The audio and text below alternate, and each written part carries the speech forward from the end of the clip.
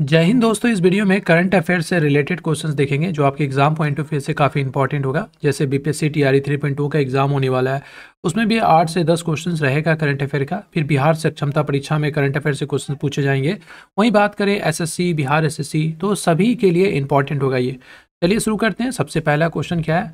हलवा समारोह किस घटने से संबंधित है? अगर आपको वीडियो स्लो लगे तो आप 1.25 स्पीड में या फिर 1.5 स्पीड में करके भी देख सकते हैं, ठीक है? सबसे पहला क्वेश्चन है, हलवा समारोह किस घटना से संबंधित है? ऑप्शन देख लीजिए इसका क्या है, स्वतंत्रता दिवस समारोह। ठीक है, वहीं पे अगर हम लोग बात करते हैं तो ऑप्शन बी है, बजट तैयार करने की प्रक्रिया, राष्ट्रीय महिला दिवस, गणतंत्र समारोह दिवस या फिर इनमें से कोई नहीं। तो इस क्वेश्चन का सही आंसर हो जाएगा आपको ऑप्शन नंबर बी, बजट तैयार करने की प्रक्रिया। ठीक है, चलिए अब हम लोग संसद से रिलेटेड कुछ फैक्ट्स देख लेते हैं जो आपके एग्ज़ाम में आने के चांसेस है। देखिए, संसद आपको पता होगा, नया संसद का अभी उद्घाटन हो चुका है और पुराना संसद था, दोनों से सवाल बनता है। सबसे पहले हम लोग बात करते हैं नया संसद से तो इसका शिलान्यास कब रखा गया था? तो 10 दिसंबर 2020 को रखा गया था। ये क्वेश्चन भी एग्ज़ाम में पूछा जाता है और पूछा गया है तो इस पर ध्यान दीजिएगा। पुराना कब रखा गया था? तो बारह फरवरी उन्नीस सौ इक्कीस का, याद रखिएगा, ये काफ़ी इंपॉर्टेंट क्वेश्चन है हिस्ट्री में पूछा जाता है ये। वहीं पर अगर निर्माण का बात करें तो 2022 से लेकर तेईस, तीन साल लग गया इसको बनने में, नया संसद भवन को, उसके बाद जो पुराना था, उसको बनने में छः साल लग गया था। खर्च का बात करें तो टोटल बारह हज़ार करोड़ लगा है इसको बनाने में, और उस समय आपको तिरासी लाख लगा था, ठीक है? देखिए, इन्फ्लेशन कितना ज़्यादा बढ़ गया है, इस पर ध्यान दीजिए आप। डिज़ाइनर का हम लोग बात करें तो यहाँ पे देखिए देखिए, यहाँ पे जो आपको क्वेश्चन बनेगा, ये आपको पुराना संसद भवन से पूछा जाता है तो इसका आंसर हो जाएगा एडमिन लुटियंस और हरवर बेकर। और नया का जो क्या हो जाएगा, वो हो जाएगा आपको बिमल पटेल, ये भी याद रखिएगा। उद्घाटन के बारे में बात करें तो 28 मई 2023 को इसको उद्घाटन किया गया नरेंद्र मोदी जी के द्वारा। और इसका जो उद्घाटन हुआ था 18 जनवरी 1927 को हुआ था। ये क्वेश्चन नहीं बनेगा, ये आपको पूछेगा अगर उद्घाटन से बनेगा तो। उद्घाटनकर्ता नरेंद्र मोदी थे, ये सभी को पता है, यहाँ पे लॉर्ड इरबिन हाँ ये क्वेश्चन बन सकता है, ये याद रखिएगा, यहाँ से क्वेश्चन भी पूछ सकता है। अगर हम लोग सबसे इंपॉर्टेंट फैक्ट्स देखें संसद भवन का तो आपसे पूछेगा, लोकसभा का सीट कितना है तो आठ है। राज्यसभा का तीन सौ चौरासी और दोनों को मिला के बारह बारह है, ठीक है? याद रखिएगा, दोनों को मिला के बारह है। तो ये क्वेश्चन आपसे पूछेगा, जैसे नया संसद भवन का लोकसभा की सीटें कितनी है? तो आठ सौ अट्ठासी है। राज्यसभा कितने तीन सौ है। और वहीं पे बात करें, पुराना लोकसभा का सीट का तो पाँच सौ तैंतालीस और राज्यसभा का दो सौ पचास था। और आपसे इंपॉर्टेंट यहाँ पे पूछता है, अनुच्छेद की बात करेंगे तो संसद का अगर अनुच्छेद के बारे में आपसे पूछा जाएगा तो आपको बताना है सेवेंटी नाइन, ठीक है? वहीं अगर राज्यसभा का पूछेगा तो राज्यसभा का आपको बताना है अस्सी, और फिर आ गया लोकसभा का तो लोकसभा का आपको बताना है यहाँ पे इक्यासी। तो इसको याद रख सकते हैं आप, सरला बोल के ये ट्रिक है, ये सरला बोल के ट्रिक है, सौ से संसद, रो से राज्यसभा, लॉ से लोकसभा। ठीक है? सेवेंटी नाइन नवासी, अस्सी, इक्यासी, ये क्वेश्चन बनता है। चलिए, नेक्स्ट क्वेश्चन की ओर चलते हैं। कर्पूरी ठाकुर को देखिए, काफ़ी इंपॉर्टेंट क्वेश्चन है। जब आपको समझ में आता है, कर्पूरी ठाकुर को भारत रत्न से सम्मानित किया जाएगा, वह किस राज्य से संबंधित है? ऑप्शन है उत्तर प्रदेश, बिहार, मध्य प्रदेश, हरियाणा, या इनमें से कोई नहीं। तो इस क्वेश्चन का सही आंसर हो जाएगा बिहार। ठीक है, बिहार के पूर्व मुख्यमंत्री हैं, काफ़ी ज़्यादा इंपॉर्टेंट है। अभी इसको अनाउंस किया गया है कर्पूरी ठाकुर को। आपको पता ही होगा कि भारत रत्न देने का इसीलिए क्वेश्चन काफ़ी इंपॉर्टेंट है। और यहाँ से क्वेश्चन बनेगा आपको बिहार के एग्ज़ाम में। जैसे कि बीपीएससी टी हो सक्षमता परीक्षा हो गया, ये सब। चलिए अगर हम लोग बिहार से रिलेटेड कुछ अगर फैक्ट्स देख ले जल्दी से तो बहुत ही अच्छा होगा। सबसे पहले देखिए बिहार का स्थापना पूछेगा तो 22 मार्च 1912 को हुआ था ठीक है? और हाँ उसके बाद 1936 में इससे उड़ीसा अलग हो गया था और 2000 में और अगर आप लोग बात करें 2000 में तो यहाँ पे बंगाल सॉरी झारखंड अलग हो गया था पंद्रह नवंबर दो हज़ार को। समझ में आ रहा है आपको? राज, राजधानी पटना है उच्च न्यायालय पटना है राज्य की भाषा हिंदी है द्वितीय राज्य की भाषा उर्दू है। देखिए यहाँ पर जो है ना ये याद रखिएगा ये पॉइंट पूछ लेता है एग्ज़ाम में। राजकीय पशु बैल है, राजकीय परीक्षी गौरिया है। राजकीय पुष्प के बारे में बात करेंगे तो गेंदा फूल, ये सब हम लोग बिहार से रिलेटेड देख रहे हैं। राजकीय वृक्ष कौन हो जाएगा? पीपल हो जाएगा। चिन्ह क्या हो जाएगा? बोधि वृक्ष हो जाएगा। मछली का बात करें तो मांगुर और राज्य का महापर्व छठ कौन नहीं जानता है। जिलों की संख्या कितना है? यहाँ पे अड़तीस है। कुछ और फैक्ट्स देख लेते हैं। अनुमंडल की संख्या आपसे पूछेगा तो यहाँ बताना है एक सौ एक प्रखंड की संख्या पूछेगा पाँच उसके बाद पंचायत की संख्या ये उतना नहीं पूछेगा, लेकिन फिर भी आप देख लीजिए डेटा। महानगरों की संख्या एक है जो कि पटना है। विधानमंडल दुई सदनात्मक है, जो विधानसभा में सदस्यों की संख्या कितना है आपको पता है, दो सौ तैंतालीस है, याद रखिएगा। काफ़ी इंपॉर्टेंट है, ये चारों फैक्ट से क्वेश्चन बनेगा। विधान परिषद में सदस्यों की संख्या पचहत्तर है, लोकसभा सदस्यों की संख्या चालीस है, ठीक है? और राज्यसभा सदस्य की संख्या सोलह है। वहीं अगर हम लोग बात करें लोकसभा में अनुसूचित जाति के लिए आरक्षित सीटों की संख्या कितना है तो छः है। ये वाला इंपॉर्टेंट फैक्ट्स है। अच्छा सर्वाधिक वन क्षेत्र वाला जिला कौन है बिहार में? तो यह है पश्चिमी पंच चंपारण। न्यूनतम वन क्षेत्र वाला जिला कौन सा है? तो ये आंसर हो जाएगा शिवहर। ये एक्चुअली शिवहर है, ठीक है? यहाँ पे सही कर लीजिए, शिवहर हो जाएगा, ये शिवहर। सबसे अधिक वन प्रतिशत वाला जिला कौन सा है? तो कैमूर हो जाएगा। सबसे कम वन प्रतिशत वाला जिला कौन है? शेखपुरा हो जाएगा। सर्वाधिक अनुसूचित जाति की आबादी कौन सा है? कहाँ पर है? तो गया में है। याद रखिएगा, अनुसूचित जाति के बारे में पूछ रहा है।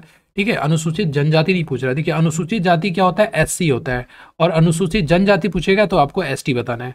और पिछड़ा वर्ग में आपको जैसे ओबीसी वगैरह आ जाता है। न्यूनतम अनुसूचित जाति की आबादी वाला जिला कौन सा है? तो यहाँ पे किशनगंज हो जाएगा। बिहार की जनसंख्या ठीक है, बिहार की जनसंख्या के बारे में पूछेगा 2011 जनगणना के अनुसार इसका आंसर हो जाएगा दस करोड़ अड़तीस लाख चार हज़ार छः सौ सैंतीस। उतना डिटेल नहीं पूछेगा, आपको बस इतना याद रखना है, दस हज़ार, दस करोड़ से लेकर मतलब इतना याद रखिएगा ना तो आपका काम बन जाएगा, ठीक है, इतना करोड़। बिहार में महिलाओं की संख्या ये है, उसके बाद बिहार में पुरुषों की संख्या इतना। जनसंख्या के दृष्टि से सर्वाधिक बड़ा जिला पटना है, जनसंख्या के दृष्टि से सर्वाधिक छोटा जिला कौन सा है, शेखपुरा। तो ये कुछ इंपॉर्टेंट फैक्ट था। बाकी जैसे जैसे मैं और सारे वीडियोस लेके आऊँगा तो उसमें कुछ कुछ इंपॉर्टेंट फैक्ट ऐड करता रहूँगा, ठीक है? चलिए नेक्स्ट क्वेश्चन है क्वेश्चन नंबर थ्री बहुत ज़्यादा इंपॉर्टेंट क्वेश्चन है। अयोध्या राम मंदिर के निर्माण के मुख्य वास्तुकार कौन है? राम सुतार चंद्रकांत चंद्रकांता सोमपुरा, अरुण योगीराज, जगमोहन या फिर इनमें से कोई नहीं? तो इसका आंसर का, इस क्वेश्चन का जो सही आंसर हो जाएगा ऑप्शन नंबर बी सही आंसर हो जाएगा और याद रखिएगा, ये एग्ज़ाम में पूछा जाने के पूरे पूरे चांसेस है। अयोध्या राम मंदिर निर्माण के मुख्य वास्तुकार कौन है? तो चंद्रकांता सोमपुरा। चलिए, राम मंदिर से रिलेटेड कुछ इंपॉर्टेंट फैक्ट्स देख लेते हैं, जो आपके एग्ज़ाम में आने के पूरे चांसेस हैं। राम की मूर्ति किस पत्थर की बनी है? तो इसका आंसर हो जाएगा श्यामल पत्थर की। राम मंदिर का निर्माण किस शैली पर किया जा रहा है? तो नागर शैली से, याद रखिएगा, किया गया मतलब किया गया है। राम मंदिर का निर्माण करने वाले ट्रस्ट समिति का नाम क्या है? कई बार ये भी पूछ लेते हैं एग्ज़ाम में। श्री राम जन्मभूमि तीर्थ क्षेत्र ट्रस्ट रामलीला की मूर्तियों का निर्माण किसने किया? तो अरुण योगी राज, काफ़ी इंपॉर्टेंट क्वेश्चन है बीबीआई है याद रखिएगा। राम मंदिर में रामलीला की मूर्ति कैसी है? तो जल रोधी है। राम मन प्रभु राम की प्रतिमा की ऊंचाई कितनी है? तो यस इसका आंसर हो जाएगा फोर पॉइंट टू फोर यानी कि चार दशमलव दो चार फिट ऊँचा है, इसका सही आंसर हो जाएगा, ठीक है? यहाँ पे हो जाएगा, मूर्ति किस शैली में बनाई गई है तो कृष्ण शैली में बनाई गई है। वहीं मंदिर का पूछेगा तो नागर शैली, मूर्ति का पूछेगा तो कृष्ण शैली। और उद्घाटन कब हुआ था तो आप सभी को पता है, बाईस जनवरी 2024 को नरेंद्र मोदी जी के द्वारा राम मंदिर का उद्घाटन किया गया था। इतना इंपॉर्टेंट क्वेश्चन है, बाकी और मैं डिस्कस करूँगा, जिससे जैसे वीडियोस आगे बढ़ेगा। डॉक्टर बी आर अंबेडकर की 125 ऊँची 125 फीट ऊँची प्रतिमा का उद्घाटन किस राज्य में किया गया है? काफ़ी इंपॉर्टेंट क्वेश्चन है, याद रखिएगा, किसी न किसी एग्ज़ाम में आपको देखने को मिलेगा। ऑप्शन क्या है? बिहार, राजस्थान, आंध्र प्रदेश, उत्तर प्रदेश या फिर इनमें से कोई नहीं। इसका सही आंसर हो जाएगा आंध्र प्रदेश, ठीक है? याद रखिएगा, आंध्र प्रदेश इसका सही आंसर होगा। अब देखिए इंपॉर्टेंट स्टैचू जो है, जिससे क्वेश्चन बनेगा, जैसे दुनिया का सबसे ऊँचा स्टैचू कौन सा है? आपको पता होगा, सरदार वल्लभ भाई पटेल का जो है, जिसको हम लोग बोला, बोलते हैं क्या? स्टैचू स्टैचू ऑफ़ यूनिटी बोला जाता है, ठीक है? स्टैचू ऑफ़ यूनिटी बोला जाता है। याद रखिएगा, यहाँ से क्वेश्चन आपको बनेगा। ठीक है? देखिए, गुजरात के बडोदरा के पास नर्मदा ज़िले में स्थित सरदार सरोवर बाँध से तीन पॉइंट पाँच किलोमीटर, यानी कि साढ़े तीन किलोमीटर नीचे की तरफ़ जाने से इतना इंपॉर्टेंट नहीं है ये सब डिटेल एक सौ बिरासी मीटर ऊँचा है। सबसे ऊँचा कितना मतलब है पूरे विश्व में? अगर आपसे पूछेगा इसका हाइट तो बताना है एक सौ बिरासी मीटर। याद रखिएगा, ठीक है? और किसका मूर्ति है? तो सरदार वल्लभ भाई पटेल का। इकतीस अक्टूबर को राष्ट्रीय एकता दिवस मनाया जाता है इनके जन्म दिवन के, जन्म दिवस के शुभ अवसर पर। चलिए, नेक्स्ट क्वेश्चन है, question number five. Question number five में सोलहवें वित्त आयोग के अध्यक्ष के रूप में किसे चुना गया है? काफ़ी वीवीआई क्वेश्चन है। देखिए, आप देख सकते हैं क्वेश्चन का लेवल जो सारे इंपॉर्टेंट क्वेश्चन होगा ना, उसी का मैं कलेक्शन लेके आऊँगा इस सीरीज़ में। डॉक्टर अरविंद पनगढ़िया रघुराम राजन, उर्जित पटेल, शक्तिकांत दास। तो इसका सही आंसर हो जाएगा option number A doctor Arvind Panagariya याद रखिएगा, अगर आपसे सोलहवा का पूछा, पंद्रह का पूछेगा, पंद्रहवा का पूछेगा तो आपको बताना है एन के सिंह, ठीक है? एन के सिंह। ये भी क्वेश्चन आपसे पूछ सकता है कि पंद्रहवा वित्त आयोग के अध्यक्ष कौन है? तो एन के सिंह है और सोलहवा का पूछेगा तो अरविंद पनगढ़िया है। ठीक है? वीडियो को लाइक ज़रूर कर दीजिएगा। चलिए, नेक्स्ट क्वेश्चन की ओर चलते हैं। नई दिशा निर्देश के अनुसार कोचिंग सेंटरों में मतलब कोचिंग सेंटर जो है वहाँ पे नामांकन के लिए छा, छात्रों की न्यूनतम आयु क्या रखा गया है? चौदह साल पंद्रह साल सोलह साल अठारह साल। तो इसका सही आंसर हो जाएगा सोलह साल। यानी कि सोलह साल का अगर जो कोई नीचे स्टूडेंट है सिक्सटीन ईयर्स से नीचे है तो वो फिर कोचिंग सेंटर में एडमिशन नहीं करा सकता ऐसा सरकार के नया निर्देश अभी पारित किया गया। आपको बस इतना याद रखना है सोलह साल। Question number seven. सर्वश्रेष्ठ फीफा पुरुष खिलाड़ी 2023 का पुरस्कार किसने जीता है? Kylian Mbappe Cristiano Ronaldo, Lionel Messi, Sunil Chhetri, या इनमें से कोई नहीं। तो इस क्वेश्चन का सही आंसर हो जाएगा लियोनेल मेसी। काफ़ी इंपॉर्टेंट क्वेश्चन है, याद रखिएगा। लियोनेल मेसी, ठीक है? आपको पता होगा जो फीफा वर्ल्ड कप है, फीफा वर्ल्ड कप जो हुआ था 2000 आपको अभी तो वो आपको कौन जीता था? तो इसका जो सही आंसर हो जाएगा अर्जेंटीना, ठीक है? जहाँ के लियोनेल मेसी, अर्जेंटीना। और क्रिस्टानो रोनाल्डो तो पुर्तगाल के हैं। अभी ये आपको जो है सऊदी अरब के लिए खेल रहे हैं। और एम्बापे आपको पता है रशिया से खेलते हैं, सुनील छत्री का भी पता है आपको, भारत से खेलते हैं। चलिए नेक्स्ट क्वेश्चन है। भारत का सबसे लंबा पुल का नाम क्या है? ये भी क्वेश्चन काफ़ी इंपॉर्टेंट है। एग्ज़ाम में आपको देखने को मिलेगा। तो इस क्वेश्चन का जो सही आंसर है, आपको देखा यहाँ पे, राजीव गांधी सेतु, नावा सेवा अटल सेतु, इंदिरा गांधी ब्रिज सरदार पटेल चौड़ा इनमें से कोई नहीं इसका सही आंसर हो जाएगा ऑप्शन नंबर बी नावा सेवा अटल सेतु। कहाँ पर है? तो आपसे ये भी पूछ सकता है तो आंसर बताना आपको महाराष्ट्र में। ठीक है? महाराष्ट्र का कैपिटल क्या है? तो आप सभी को पता है, मुंबई है महाराष्ट्र का कैपिटल समझ में आया? अब देखिए, कुछ और इंपॉर्टेंट जैसे कि प्रधानमंत्री नरेंद्र मोदी ने, ठीक है? प्रधानमंत्री नरेंद्र मोदी ने 12 जनवरी 2024 को भारत के सबसे लंबे पुल अटल बिहारी वाजपेयी यहाँ पे यह जाएगा के नाम पे नवा सेवा अटल सेतु का उद्घाटन किया है। समझ में आया? कहाँ पे किया है? तो महाराष्ट्र में क्या ये भी याद रखिएगा 12 जनवरी 2024 को। 21.8 किलोमीटर लंबा यह पुल भारत का सबसे लंबा समुद्री पुल है और मुंबई के लिए एक महत्वपूर्ण बुनियादी ढांचा परियोजना है। समझ में आया? समुद्र पर 16.5 किलोमीटर और ज़मीन पर 5.5 किलोमीटर लंबा छह लेन का यह पुल है जो कि भारत में समुद्र और समग्र रूप से सबसे लंबा पुल है। ठीक है? आपको या, याद करने वाला पॉइंट क्या है? सबसे लंबा पुल का नाम पता चल गया। आपको लंबाई याद रखना है। इक्कीस पॉइंट आठ दशमलव कब किया गया था? बारह जनवरी उन्नीस सौ चौबीस को। किसके द्वारा किया गया था? नरेंद्र मोदी को। कहाँ पर है? तो आपको पता होगा मुंबई में। चलिए, एक और इंपॉर्टेंट क्वेश्चन इस क्वेश्चन का देखिए आंसर आपको बताना है। बिमस्टेक के नए महासचिव बनने वाले प्रथम भारतीय कौन है? रजनीश खन्ना, अरुण चोपड़ा, इंद्रमणि पांडे या फिर महेश चौहान? इस क्वेश्चन का सही आंसर हो जाएगा इंद्रमणि पांडे। आपको पता है अपॉइंटमेंट से रिलेटेड काफ़ी क्वेश्चंस बनते हैं आपके एग्ज़ाम में। तो चलिए हम लोग देखते हैं कुछ इंपॉर्टेंट और क्वेश्चंस जो आपके एग्ज़ाम में बनने के चांसेस है। देखिए यहाँ पे सबसे पहले अगर सीबीसी का पूछेगा, केंद्रीय सतर्कता आयोग तो इसका सही आंसर हो जाएगा परवीन कुमार श्रीवास्तव। ठीक है, ये उन्नीसवा है। ये आपसे नहीं पूछेगा, लेकिन आपसे नाम पूछेगा तो आपको बताना है परवीन कुमार श्रीवास्तव। वहीं बात करेगा सीबीआई का निदेशक कौन है तो परमुन सूद बने हैं सीबीआई का। परमुन सूद सॉरी परवीन सूद, माफ़ कीजिएगा, परवीन सूद बने हैं सीबीआई का। ठीक है? वहीं बात करें आपको मुख्य सूचना आयोग, यानी कि सीआईसी का, इसका सही आंसर हो जाएगा हीरालाल सामरिया। आईबी का पूछेगा इंटेलिजेंस ब्यूरो का निदेशक कौन है? तो तपन कुमार डेका। रॉ का पूछेगा आपको रिसर्च एंड एनालिसिस विंग तो इसका सही आंसर हो जाएगा रवि सिन्हा। एनआईए क्या पूछेगा नेशनल जाँच एजेंसी तो इसका आंसर हो जाएगा दिनकर गुप्ता। ईडी का पूछेगा, आपको पता है ईडी अभी काफ़ी चर्चा में तो यहाँ से ज़्यादा क्वेश्चन बनने का चांसेस तो आपको याद रखना, राहुल राहुल नवीन। ठीक है, राहुल नवीन, यहाँ से क्वेश्चन बचेगा, बनेगा। आपको पता होगा, राहुल गांधी के ऊपर अभी जो है ईडी लगा हुआ है अच्छे से तो आप ऐसे भी ट्रिक से याद रख सकती हैं। वहीं एनसीबी का बात करेंगे, नारकोटिक्स कंट्रोल ब्यूरो का तो सत्यनारायण प्रधान। कुछ और इंपॉर्टेंट देख लेते हैं, जैसे कि मान लीजिए यहाँ पे एसएसबी का तो एसएसबी का हो जाएगा रश्मि शुक्ला। बीएसएफ का पूछेगा तो नितिन अग्रवाल। सीआरपीएफ का पूछेगा तो अनीस दयाल सिंह। वहीं पे सीआईएसएफ का पूछेगा तो नीना सिंह। ये इंपॉर्टेंट है, नीना सिंह सीआईएसएफ का, ठीक है? ये काफ़ी इंपॉर्टेंट है, याद रखिएगा।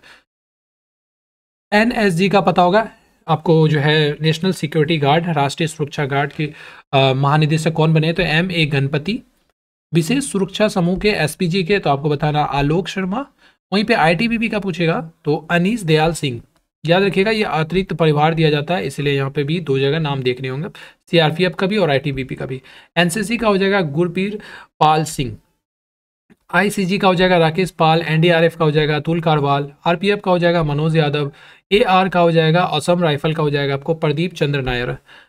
होमगार्ड का हो जाएगा विवेक श्रीवास्तव। यहाँ जो सबसे इंपॉर्टेंट है, एक आपको ये एसएसबी का है, उसके बाद आपको बीएसएफ का है और यहाँ पे सीआईएसएफ का है, नीना सिंह, याद रखिएगा। नेक्स्ट क्वेश्चन है। नेक्स्ट क्वेश्चन जो आपसे पूछ रहा है यहाँ पे, भारत की पहली सौर ऊर्जा से चलने वाली नाव का संचालन किस नदी में किया जाएगा? यमुना नदी, गंगा नदी, गोमती नदी, सरयू नदी। इस क्वेश्चन का सही आंसर हो जाएगा ऑप्शन नंबर डी सरयू नदी। देखिए, ये क्वेश्चन काफ़ी इंपॉर्टेंट है क्योंकि आपको पता होगा 22 जनवरी को राम मंदिर का उद्घाटन हुआ अयोध्या में और अयोध्या जो शहर है वो किस नदी के किनारे स्थित है? तो सरयू नदी के किनारे स्थित है। इसीलिए ये क्वेश्चन काफ़ी इंपॉर्टेंट याद रखिएगा। ठीक है? चलिए। बाकी फैक्ट तो हम लोग देख लिए थे, राम मंदिर से रिलेटेड असम का सर्वोच्च नागरिक पुरस्कार असम वैभव 2023 से किसे सम्मानित किया गया है? किसी न किसी एग्ज़ाम में आपको ज़रूर देखने को मिलेगा, याद रखिएगा, ठीक है? अमित शाह, रघुराम राजन, रंजन गोगोई या फिर रतन टाटा? इस क्वेश्चन का सही आंसर हो जाएगा option number C Ranjan Gogoi, जो कि चीफ जस्टिस ऑफ़ इंडिया भी रह चुके हैं और असम से बिलोंग करते हैं, इसीलिए यहाँ पर इसको, इनको असम वैभव शांति का असम वैभव 2023 का पुरस्कार से सम्मानित किया गया है। एक इंपॉर्टेंट क्वेश्चन बनता है आपके एग्ज़ाम में, आजकल मतलब आपको बन, देख, देखने को मिल सकता है। जैसे रतन टाटा को ऑस्ट्रेलिया का सर्वोच्च नागरिक सम्मान नागरिक सम्मान से सम्मानित किया गया है। कब किया गया? है 2023 में किसे किया गया? है लीजेंडरी रतन टाटा जी को किया गया। है इनको पद्म विभूषण कब मिला था? 2008 में।